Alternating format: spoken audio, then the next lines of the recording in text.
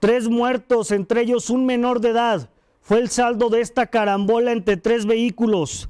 Dice el comunicado que nos envía la eh, Dirección de Protección Civil Estatal que a través del 911 atendieron un reporte para establecer un operativo de salvamento en coordinación con personal de unidades de protección civil de Guadalupe y Morelos para auxiliar en un aparatoso accidente vehicular que dejó como saldo tres personas fallecidas, entre ellas un menor de edad y cinco lesionados graves en hechos que ocurrieron la noche de este domingo en la carretera estatal 175 con dirección de la comunidad de Tacualecha Pozo de Gamboa. El informe preliminar del personal estatal señala que el choque fue frontal en el que se vieron involucrados un automóvil de la marca Chevrolet Aveo con placas del Estado, propiedad de Manuel de 40 años de edad, originario del municipio de Calera de Víctor Rosales, quien resultó gravemente herido.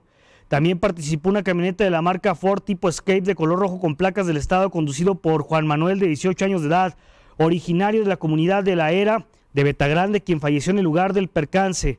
También fue localizada una camioneta abandonada de la marca Chevrolet tipo Silverado con placas del Estado sin conductor, huyó en una rápida acción, paramédicos auxiliaron a los heridos, los trasladaron a recibir atención médica. Al momento del rescate, las víctimas se identificaron con los nombres de Miriam Karina, de 18 años de edad, José Manuel, de 17, Fátima Jimena, de 12, Estrella Yolet, de 8 años de edad, y Adrián, de 40 años, todos originarios de Calera de Víctor Rosales.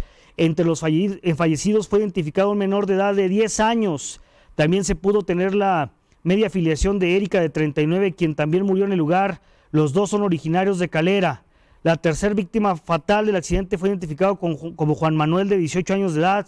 Ante los graves efectos del accidente fue necesaria la intervención de todo el cuerpo de rescate de los municipios de Morelos, Guadalupe y Protección Civil del Estado, quienes realizaron las maniobras en este fatídico, brutal accidente que dejó tres personas sin vida.